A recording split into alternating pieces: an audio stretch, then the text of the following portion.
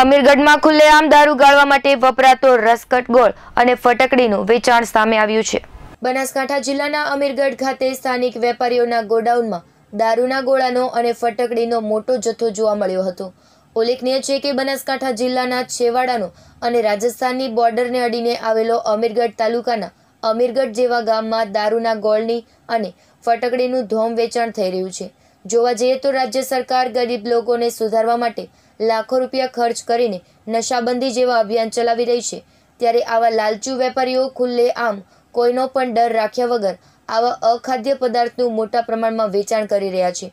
જોવા જઈએ તો તંત્રની રહેમ નજર હેઠળ જ આ અખાદ્ય પદાર્થનું વેચાણ થઈ રહ્યું હોય તેવું લાગી રહ્યું છે. Praveen Patel, GTV news Iqbalgadh